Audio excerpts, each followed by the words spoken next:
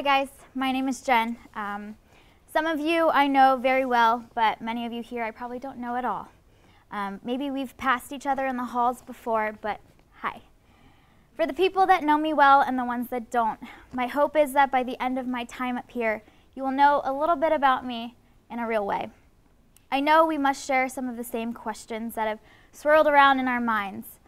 What is it, what is it really that we desire most? What is true about our most treasured relationships? What is the nature of love? By the end of me standing up here, I hope that you and I share a tiny moment of human connection, even though we have, may have never met before, or even if we have. These talks are often filled with lots of helpful tidbits of wisdom, like be kind, take risks, follow your passion, etc. But I always find these difficult to latch onto. Like, yeah, cool, but it's usually not that simple. Instead, I'd like to just invite you into my life. But first, let me take off my mask. Our masks, it's that thing we wear on the outside, that strong exterior, the persona that has it all together.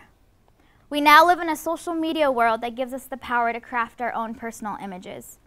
We show the world only the little pockets of our happy moments, string them together, and reveal them as our reality the pictures of hashtag candid laughs, the beautiful sights we got to see, the moments where we felt on top of the world. These are all perfectly captured moments, and I do it too. And while we should celebrate them, it's easy to forget that we see only the highlight reels of other people's lives. It is often a distorted representation of what's really happening in our lives, a mask that covers up all of the other moments the painful ones, the difficult ones, and even the merely ordinary moments. And yet, it's these other moments that I believe are just as precious. These other moments are often the ones that show us what we care about, what our hearts beat for, and what connects us to each other. So, do we connect to masks? I think it is human to desire connection.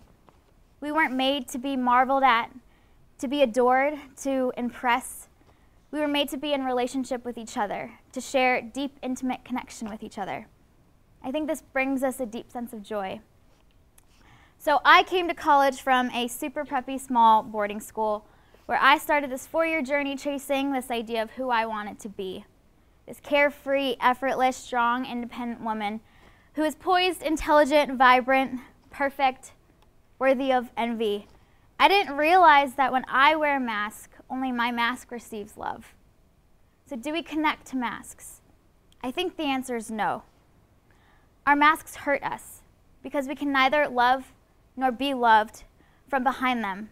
They hurt our ability to connect deeply with one another, leaving us isolated and far from each other. So, I'm taking mine off with you. If you've ever kept a diary or a journal as a little kid and gone back to read all of the thoughts swirling around your little minds at the time, it's quite illuminating and usually quite hilarious as well. My best friend Denise and I have this tradition. Every Sunday for the past four years, Denise and I send Sunday letters to each other. Every Sunday night, without fail, I have a long email in my inbox waiting for me, filled with all of her thoughts from the week and I do the same for her. We have never missed a Sunday since 2013, um, so it's been four years. I'm going to share five passages from our emails over the years. Sometimes I think the past speaks for itself in ways that my own hindsight today cannot. So instead of being a random stranger up here telling you all of these life lessons that I've learned in college, I'd rather just invite you into a little piece of my life. There are so many things beyond the highlight reel of my life, and I'd like to share them with you. So here's passage number one from Sunday Letter 87, March 9th, 2015, my sophomore year. Quote, I've been thinking about whether or not to include something in this email. I've wanted to tell you something for a long time now, but it's one that I've hidden away for so long. It's a part of myself that I don't even understand. D, for the past few years, I've been really struggling with an eating disorder.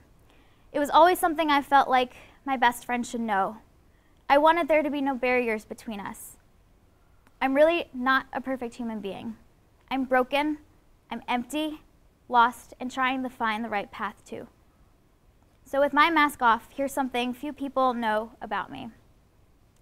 I struggled in my college years with an eating disorder, and it's been one of the hardest battles and one of the greatest blessings in my entire life, which is hard to believe. Um, when everything was spiraling out from under my feet, I loved the feeling of control I thought I had. I loved the false sense of power that it gave me. But fleeting moments of peace and power for, were followed by guilt and shame.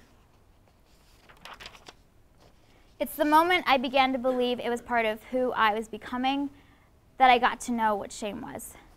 My failed attempts to be done with it reinforced this idea that this was me. This is what shame is.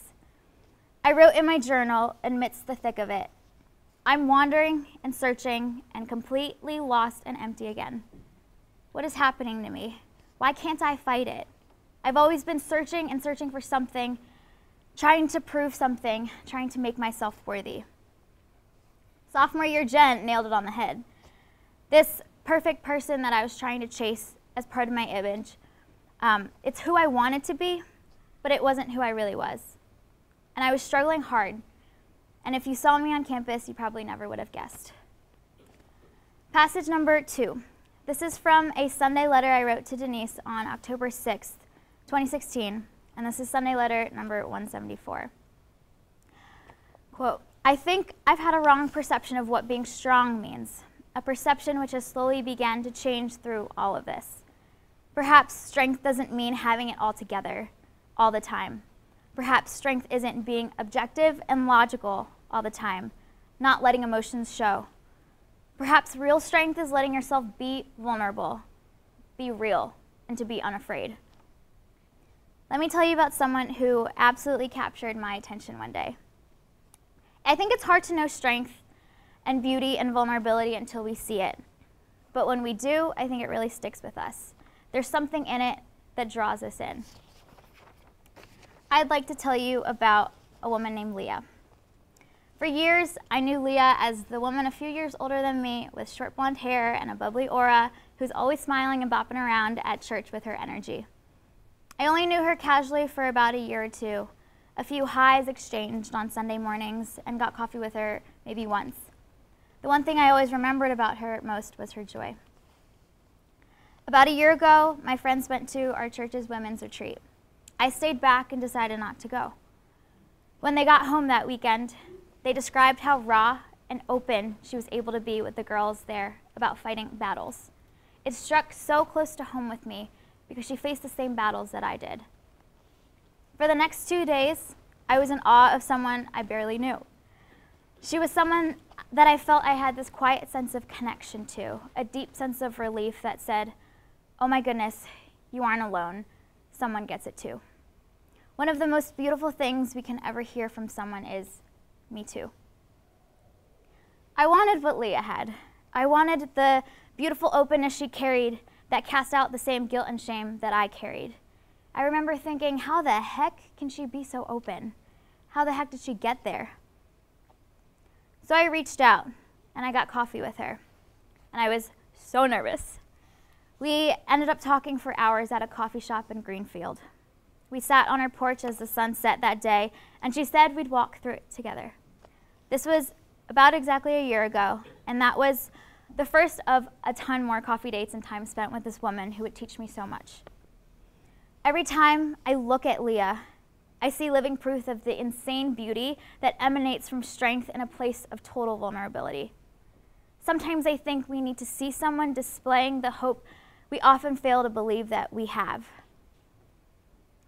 And as we step out into the light, unafraid and unashamed, we begin to become that person to someone else, someone we may not even know is desperately needing it the most. Struggle is a beautiful thing because it's common in the human experience. So, why do we shy away from our scars, from our struggles, and from the messiest parts of us? A good friend taught me that it's our scars that are evidence of a story, and it's our stories that reach people. Leah's story met me right where I was at and changed my reality. And I believe that our own stories have the power to do the same. I could end my story here, We often tell stories following the same pattern struggle, fight, redemption, and then the story ends. The movies do this too. But our lives and our reality don't work that way. They are so much more of an ebb and flow between struggle and redemption, struggle and redemption. And thank God they are this way because again and again we are being challenged and stretched. And this is precisely how we grow. I want to talk about the obstacles we face. If we have this desire for openness with each other in our most treasured relationships, then what fights to pull us in the opposite direction? What are we up against? What are our fears? Why do we have walls? What is it that keeps us from greater and deeper connection to each other? Here are two apathy and the fear of rejection. So I believe that apathy is rooted in the fear of pain, the fear of hurt. It is easier to disconnect than to take the risk. So this is passage number three. I wrote this in an email to Denise after the end of a relationship that I cared a lot about. I hope this is a little peek into all the ways that I still fight to let myself feel. November 6, 2016, Sunday letter 174. D, it's so hard sorting out my emotions right now. I hate them. I hate the way they make you irrational. I hate how much influence they have. I wish I didn't sweep how I felt under the rug for so long. As much as I want to be all strong and happy and over it, maybe it's okay that I'm not.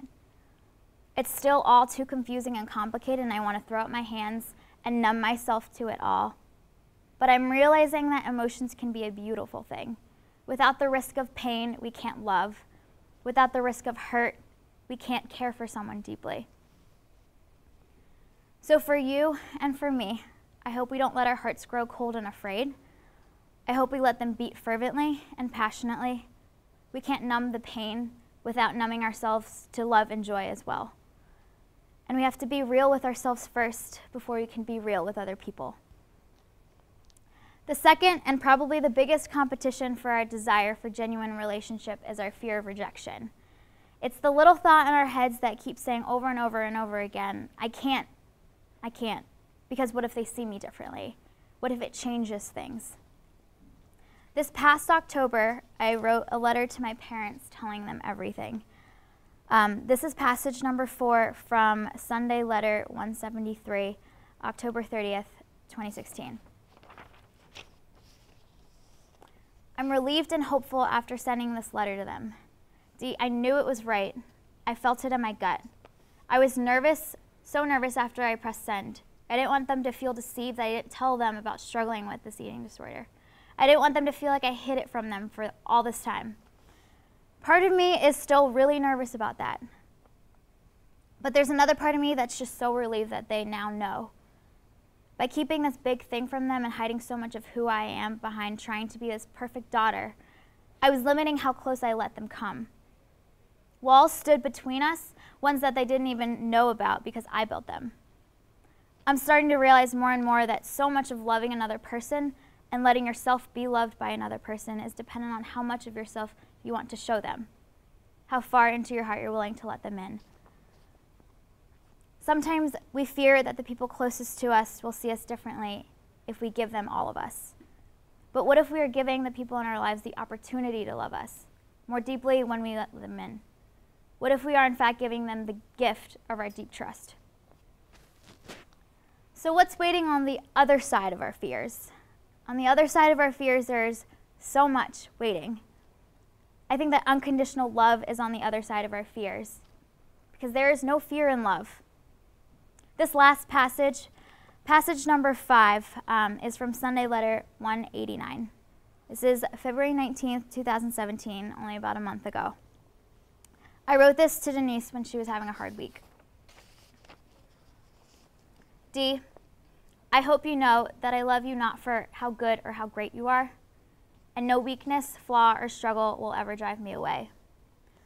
Love, the real kind, the unconditional kind of love, is ushered in the precise moment that someone knows the weakest, ugliest, most raw parts about you, and they say, Yeah, I love you more because of that. And that changes absolutely nothing. No matter what happens, whenever you are lost and cannot find your way, you have to remember this. There is someone in this world whose life you changed when you came into it. There's someone in this world you are worth everything to. There's someone in this world who believes in you in the moments that you can't believe in yourself. There's someone in this world fighting with you against every dragon that is coming our way. And there's someone in this world who treasures you because they believe that you are worth it. I will fight by your side till we see the sun come up again. And guess what we're going to do? We're going to sit on top of that mountain with the wind in our hair. We're going to watch that sun rise again, and we're going to look at each other and think, dang, that was a good fight, and we got through it together. So, for you and for me, may we fight the good fight to love the messiest, ugliest, most raw parts of ourselves and the messiest and ugliest, most raw parts of the people placed in our lives. One of my favorite quotes is by Timothy Keller. He said, To be loved and not known is comforting but superficial. To be known and not loved is our greatest fear. So, what is it then that we desire most?